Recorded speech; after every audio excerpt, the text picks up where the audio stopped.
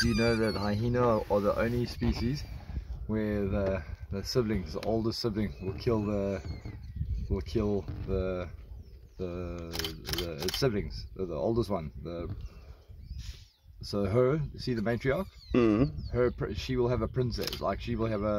Um, the oldest, biggest one there, the dominant one, Mm. will kill the ba- any of the weaker ones. Uh, it's called what's it called? Ancestry. What's that? In incestricide. Incestricide. Yeah. Yes, we're they're, they're the only species known to do it. They'll actively, while the mom's gone out, the oldest one will kill all of her brothers and sisters to ensure that she's the next matriarch. Do you know that? I've heard of something like that. Yeah. I promise. I, ga- I watched it on um, John Varty.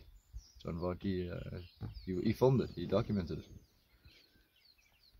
They'll eat. They'll kill and eat their brothers and sisters.